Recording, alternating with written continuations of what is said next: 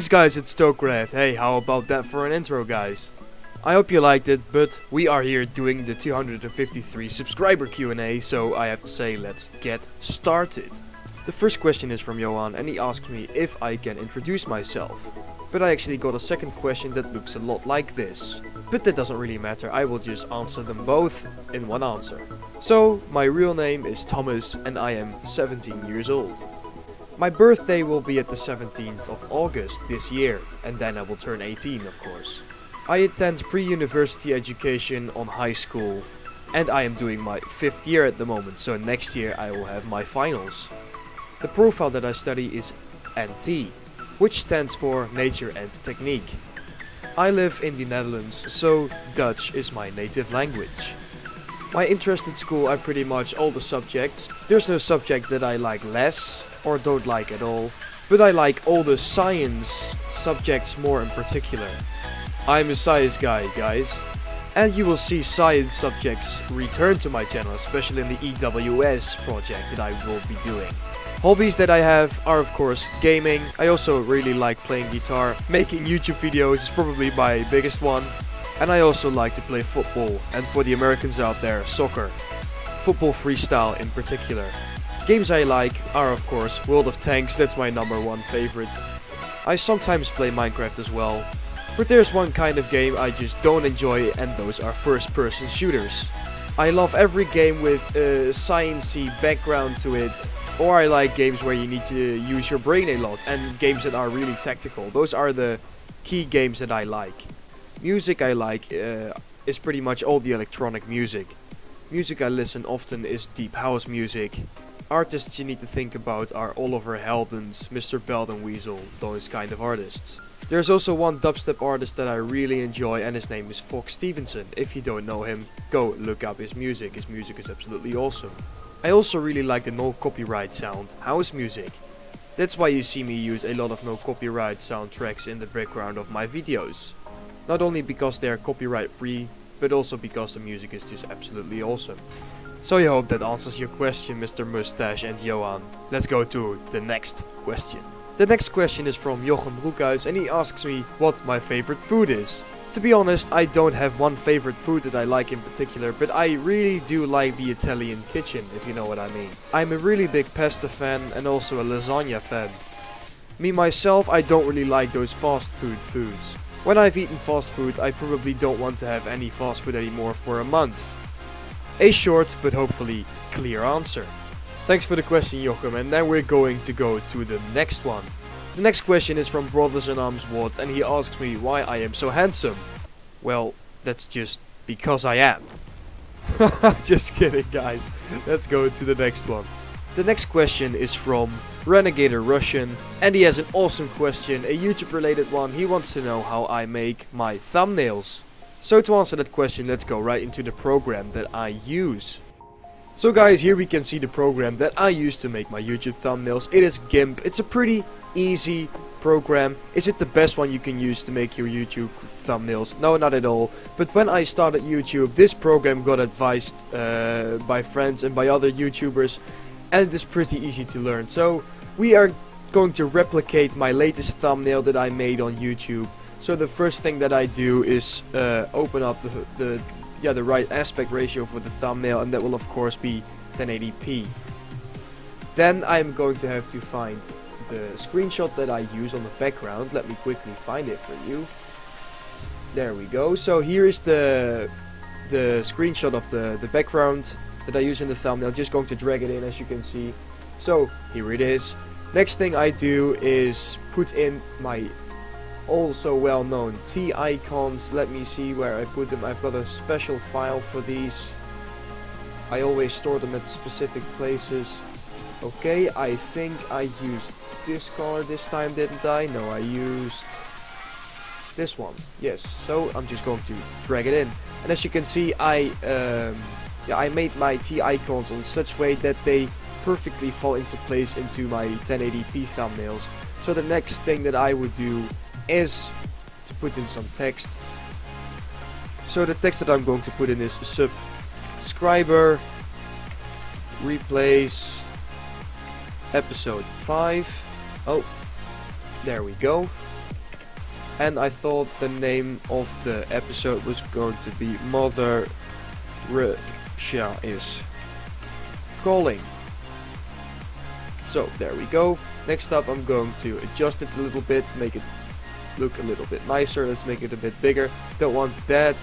So as you can see there's a little bit of room here so I'm just going to size up this text a little bit just so it looks like this. So what I do next is I want to put a white, uh, how is it called? A white layer around it and white outline. So how do I do this? I go to alpha selection. Yeah, sorry guys, it's in Dutch. I would rather have it in English, but when I downloaded it, it, uh, it download downloaded Dutch automatically, but it doesn't really matter. I size up the selection by 6 pixels and then I will select the white as we can see right here and I'm just going to fill in this selection with white. But as you can see sometimes there uh, yeah in the middle of some letters it doesn't fill in but it doesn't really matter. I'm just going to do that right now. Out of experience I know with what with which letters that happens and with which of these uh, things as you can see in the G and the A another A so I think that's it so what I do next is I want to put a, um, a transparent layer behind it, excuse me, to make the text pop out a little bit more. So how do I do this? I select two colors, as we can see. For instance, I might uh, do other things as well, but for this time I want to uh, put on these colors. I select the white background, so when I put in these colors it will automatically uh, put it onto this white background. So I use the slide tool, I don't know how it's called, I'm just going to call it the slide tool, and I drag down the colors. You don't see them right now, but as you can see down here, the colors have ended up on this white layer. That's exactly what I'm to do. Now I'm going to select the white and I'm going to make sure that when I delete the white, it is going to be transparent. And as you can see, there is my picture back. So now this is just a little bit too much as you can see so I'm going to fade down the colors a little bit until we get something like this. And then it's just a matter of moving the text a little bit, a little bit more towards the middle so it looks better. So next up you can see I put down 8 kills here. So that's exactly what I'm gonna do now. I'm gonna open another text window and I'm going to type 8 kills. And I forgot space here. So there we go. Going to make it red.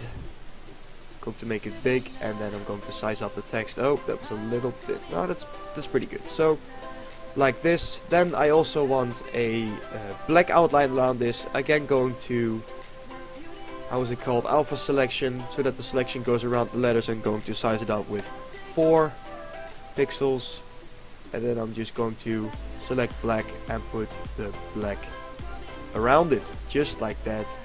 Just going to end the selection and then I'm going to turn this a little bit just like I did in the real thumbnail on YouTube. There we go. It is pretty much done now and the last thing that I did let me first find it for you. I have saved those on my desktop. World of Tanks uh, yeah, uh, medals as we can see. I think I put in the Top Gun icon as we can see. So I want to size this uh, icon up. So I click it. I click the slot here so I make sure that it sizes up evenly because as we can see if I don't click the slot I can just do it like this and if I then scale it up it's just going to look very weird as we can see so just going to slot this and make it bigger and it didn't work. Why did it work? Oh my fucking god. There we go. Slot up and let's make it bigger. Scale. There we go. I think I put it down here. But that's pretty much it, as you can see, that's how I make my YouTube thumbnails. And basically making a YouTube thumbnail starts with a good idea. So if you've got a creative idea, it's just a matter of uh, yeah, making sure that you put it out into one of your programs that you use. For beginning YouTubers, I recommend GIMP as well because it's just really easy to learn. Uh, you can also use Photoshop, but there's just going to uh, you're just going to have to put more time into it because it's harder to learn. So guys, I have to say, let's go towards the next question. And I hope your question has been answered, Renegade Russian. So guys, I've saved the hardest question for me as the last one. This one is from Bob Verwijs and he wants to know what my favorite tanks are from tier 1 to tier 10. On the subscriber special announcement video he had asked me a, a related question and that question is just what my favorite tanks overall are. Most of the tanks that I will choose are of course tanks that I own in my garage. So, let's just start with tier 1. Although I do never play tier 1 and 2 mostly, I think my favorite tier 1 is going to be the Leichtraktor or the T1 Cunningham. For tier 2, pff, I don't really know because the T18 has been removed, yeah well, didn't like to play that OP tank that much. But you know I'm going to skip out on to the tier 2. For tier 3 it's got to be the Panzer 1C. In tier 4 it's got to be the Matilda. That great armor and the great gun just make for a perfect combination, it's just absolutely OP as fuck. But really the Matilda doesn't need that much explaining. My favorite in tier 5 at the moment is got to be the Skoda T24. I might have to put a replay of that tank up onto this channel, because I just really enjoy that tank. It is pretty mobile, it has a pretty good gun, overall just like a very good medium tank. Also I really like the ELC AMX, but as that is a light tank and gets matched up as a tier 6 medium tank, I think I'm still gonna go for the Skoda T24. I think my favorite tank at tier 6 is going to be the Cromwell B. The Cromwell itself is overall really solid tier 6 medium tank. But of course the Cromwell B is just as good, it might be just a little bit better and it makes credits and extra experience. So there's pretty much no real reason to not like the Cromwell B. So next up is tier 7. Overall I really like tier 7, but I don't really have one specific tank that I always go back on when I've got bad games for instance. There's one tank that's just completely ridiculous in tier 7 and that is the T29 of course. So I think I'm gonna go with that. The turret armor is just so strong that it can even bounce the highest tier tanks it can meet. The gun has got great alpha damage and a good penetration. And if you go hull down that thing is just an absolute beast. So tier 8 is probably my most played tier in the game at the moment. I've got a lot tier 8 premium tanks as well as a lot of normal tier 8 tanks but a lot of them are still stock and or I haven't played still. I think I'm gonna choose the FV4202, not because it's the best tank, but because I think it's the most beautiful tank model in World of Tanks. Although the tank itself might not be that good, I just really enjoy playing it. It might be one of the worst uh, tier 8 premium tanks that you can buy at the moment, but still it's got that really reliable 20 pounder that Wargaming have buffed of course. The mobility is horrible, but if you go hull down, the FV215b is just a really enjoyable tank to play. And even if your games aren't going that well, you can still look at the most beautiful model, at least in my opinion, in World of Tanks.